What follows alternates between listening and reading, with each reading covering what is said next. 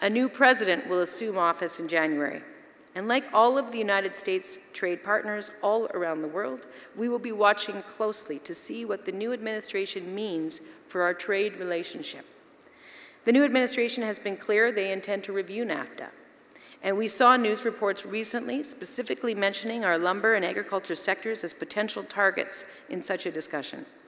So we are going to need to be extremely strong and determined to ensure trade rules in those sectors remain balanced and fair for the benefit of the people in the communities in which we all live. This, this is a fight that all Canadian governments, federal governments and provincial governments must stand arm in arm on.